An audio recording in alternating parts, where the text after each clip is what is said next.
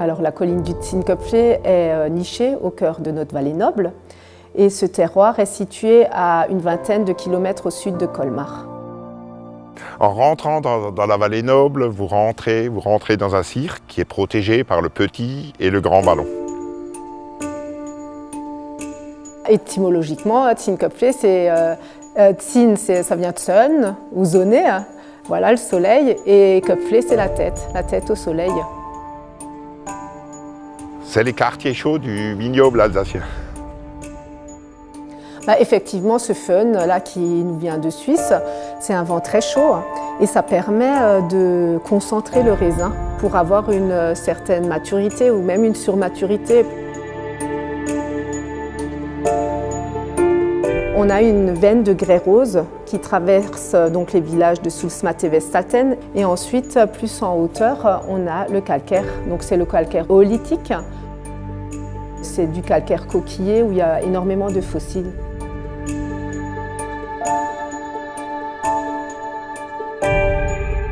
Donc il y a à la fois des vignerons qui sont coopérateurs et des vignerons qui élaborent leur propre vin. C'est vrai que ce terroir magnifique fait qu'on a envie de faire du vin. Le cépage de prédilection est le Gewürztraminer. On peut également euh, planter d'autres cépages. Nos aïeux ont fait le pari de planter le sylvaner qui donnait de très grands vins, des grands vins de garde.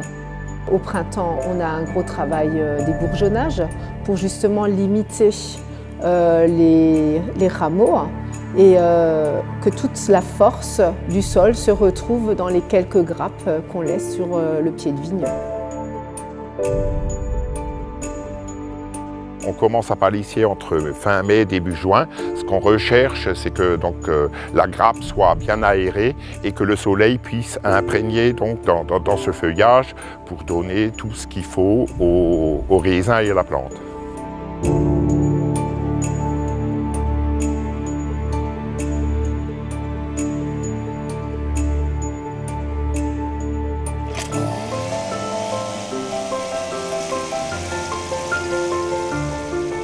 Dans le Tsinikopflé, donc, où on a quand même des pentes euh, très rudes et souvent des vieilles vignes, donc la seule façon de, les travailler, c'est avec le treuil. En labourant avec euh, la charrue et le treuil, euh, donc c'est vrai que la personne qui est sur cet engin, c'est un peu du rodéo, mais c'est une des seules possibilités pour travailler nos sols correctement. Cette colline accueille une grande biodiversité avec ses fleurs rares et précieuses qu'on doit absolument protéger.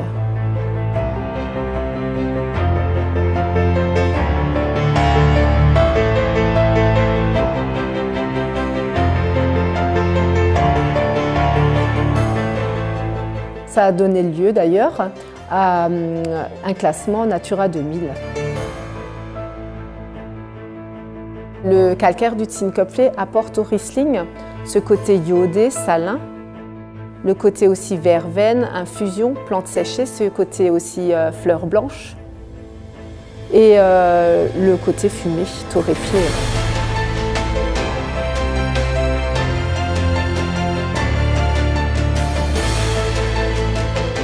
Pendant les vendanges, un vigneron, c'est 35 heures de sommeil par semaine.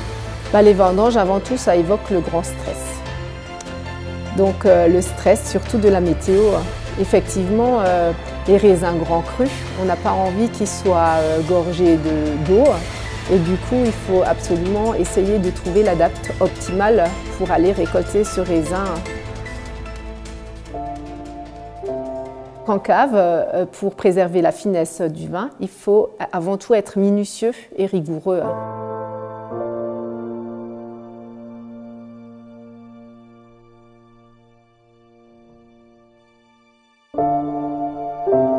Le Zinkenflé est un, est un grand terroir qui, au travers du Gewürztraminer, trouve une adéquation euh, vraiment parfaite. Le millésime 2013 est déjà accessible avec des notes un peu de surmaturité florale qui, euh, sont assez caractéristiques, mais que, la bouche ample et charnue, tendre et moelleuse arrive vraiment à, à définir de manière assez, assez voluptueuse.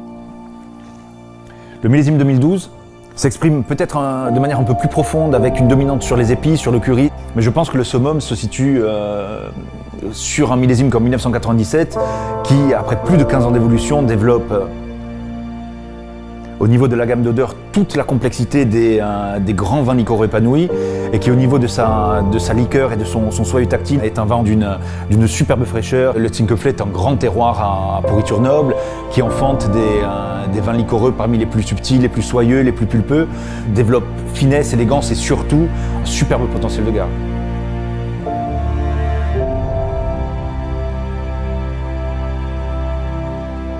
Bah, effectivement, c'est une, euh, finalité. Hein. Euh, tout vigneron rêve d'élaborer son propre vin. On peut maîtriser toutes les étapes, aussi bien le travail de la vigne, ensuite euh, l'élaboration du vin jusqu'à la commercialisation et de pouvoir parler de cet amour qu'on a pour ce terroir.